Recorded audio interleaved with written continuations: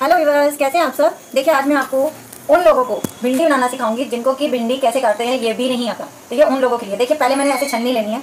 छलनी में ऐसे भिंडी डाली। इसको अच्छी तरह हमने पानी के नीचे धो लिया। फिर जब ये थोड़ा सूख जाए, उसके बाद हमने कैसे काटनी है, ये मैं आपको दिखा रही हूँ। देखिए, मैंने भिंडी ली। मैंने हाथ में नहीं पकड़ी ताकि किसी जिसको नहीं आता काम, उसका हाथ ना कटे तो सबसे पहले यहाँ से पेट में रखा, यहाँ से एक सिरा काट लिया। इसको हमने ऐसे साइड पर रख लिया। फिर हमने ऐसे गोल गोल बिना हाथ में चक्कू पकड़े काटना है ताकि हाथ ना कटे। ये देखिए। कट भिंडी। अब ऐसे ही दूसरी करेंगे हम। यहाँ से ये अलग कर दिया। ये ये बीच में नहीं डालते हैं। ये डेंटल होता है भिंडी कैसे नहीं डालते हैं। ऐसे करके हमने बारी बारी जितनी भिंडी लिया है, हम ऐसे सारी काट लिया ये देखिए मैं ऐसे। आप पतली काटना चाहते हैं, पतली काटिए, मोटी काटना चाहते हैं, मोटी में आज मैं आपको बहुत इजी वाली सिखाऊँगी भिंडी। और ये वीडियो उनके लिए है, जिनको कि यही नहीं पता कि भिंडी धोनी कैसे है। ये उनके लिए वीडियो और भिंडी जिनको खाने की आदत है। एक होता है, अब जिसको बिल्कुल काम नहीं आता तो उसको लगेगा कि मैं गोल गोल कब तक काटता रहूँ। तो क्या करना है, भिंडी ऐसे रखी हमने। इसको ऐसे पकड़ा। इस तरह से और इसके बीच में से इस तरह से भिंडी के दो टुकड़े रख दिए। बिना हाथ चक्कू चक्कू हाथ में ना लगे, इसलिए ये तरीका सिखा रही हूँ। इस तरह से इसके चार टुकड़े। ये देखिए, ये भी। ये सबसे आसान तरीके की भिंडी आप जल्दी से जल्दी काट सकते हैं। टेस्ट दोनों का एक जैसा आएगा। सिर्फ़ कि हम कैसे इजीली जल्दी काट सकते हैं, वो तरीका है। अब मैं लंबी वाली भी सिखा रही हूँ आपको दोबारा से। मैंने इसका ऐसे सिरा काटा और फिर इसे ऐसे करके देखिए, ये मैंने इसके दो टुकड़े ऐसे किए और फिर इसके दो टुकड़े ऐसे किए। देखिए।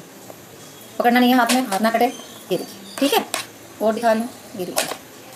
ये इस तरह से ऐसे रखनी है। बिना हाथ अपना दूर कर लेना है। जिनको नहीं आता चक्कू कैसे पकड़ना है ये उनके लिए मैं बता रही हूँ। उनके लिए नहीं बता रही हूँ, जिनको सारा काम आता किचन का उनके लिए वेस्ट है वीडियो मैं पहले ही बता दूँ आपको ठीक है? ये देखिए मैंने लंबे काट लिए। के लिए प्याज कैसे काट रही हूँ मैं? बिना हाथ में पकड़े चक्कू। देखिए मैंने एक वीडियो स्पेशल इसलिए डाली है कि प्याज कैसे काटते हैं, वो भी आपको पता चलता है ये देखिए, मैंने दो टुकड़े कर दिए, फिर छिलका।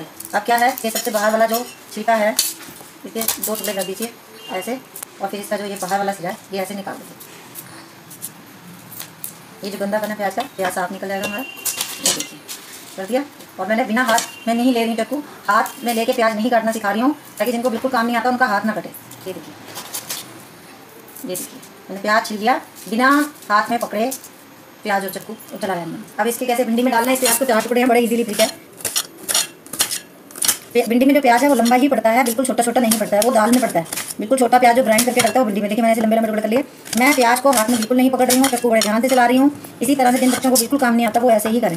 ये देखिए प्याज कट दिया कढ़ाई में मैंने ऑयल डाल दिया और सरसों, एक कोई भी ऑयल ले सकते हो जो सा भी ऑयल आपके पास हो, चाहे सनफ्लावर हो, चाहे सरसों का हो, कैसा भी हो आप ले सकते हो।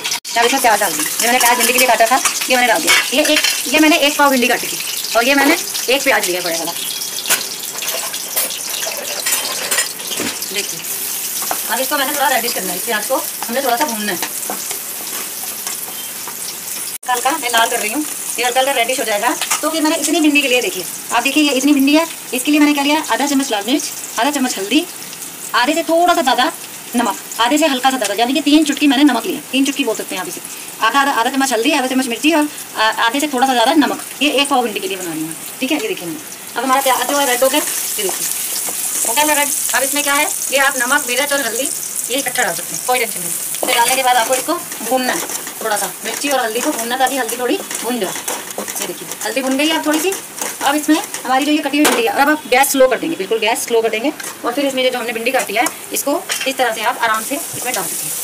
भिंडी में पानी नहीं डलता है, ये मैं आप लोगों को बता दूँ, भिंडी जो है वो सूखी बनती है। पहले हमने प्याज काटा, प्याज भूना, उसमें नमक मिर्च हल्दी डाली, उसके बाद हमने ये भिंडी डाली। ये वीडियो उन बच्चों के लिए है या उन लोगों के लिए है जिनको कुछ नहीं पता कि किचन में कैसे सब्ज़ी कटती है, इवन जिनको ये भी नहीं पता कि प्याज हाथ में पकड़ के कैसा कटा जाता है। या उन लोगों के लिए ये देखिए, अब क्या करना है जब मैंने गैस स्लो कर दिया बिल्कुल गैस डिम कर दिया अब हमने छोटी प्लेट लेनी है, देखिए। छोटी प्लेट लेनी है और छोटे बर्तन जिसमें कि भिंडी कवर हो जाए, इस तरह इसको ढक देना और बिल्कुल स्लो गैस पे।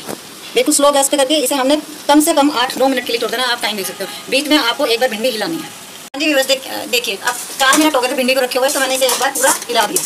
अभी भिंडी गली नहीं है। तो हम इसे दोबारा ऐसे ढक के रख देंगे। जब भी आपको प्लेट हटानी है ना, ये प्लेट गर्म हो चुकी होगी तो इसे हाथ से नहीं उठाना, नहीं तो हाथ जल जाएगा। इसको ऐसे करके करती से आपको ऐसे करना है, उसके बाद आपको डस्टर ले लीजिए, इसका ऐसे पकड़ना है इस तरह से। और ये देखिए, जब भिंडी, आपको बनी हुई भिंडी का अलग से पता चलता है, क्योंकि देखो हमने भिंडी डाली थी तो यहाँ तक भिंडी थी, है ना? अभी ये हाफ़ रह गई है थोड़ी सी रह गई तो इसका मतलब ये भिंडी बन चुकी है और मैंने गैस बंद कर दी तो भिंडी ऐसे बनाते हैं, आशा है कि आप लोगों को ये भिंडी बनानी आ गई होगी, जिनको कि बिल्कुल कुछ नहीं आता था। देखिए, भिंडी कितनी अच्छी बनी है। आप इसे परोठी के साथ, फुलके के साथ, ब्रेड के साथ, किसी भी चीज़ के साथ खाएँ, आपको बहुत अच्छी लगी कहते हैं मसाला भिंडी। तो बस आपको मेरी वीडियो कैसी लगी प्लीज़ लाइक करें शेयर करें और कमेंट करें। और वीडियो ये उनके लिए है, जिनको किचन का ए बी सी डी भी नहीं आता। Okay bye take care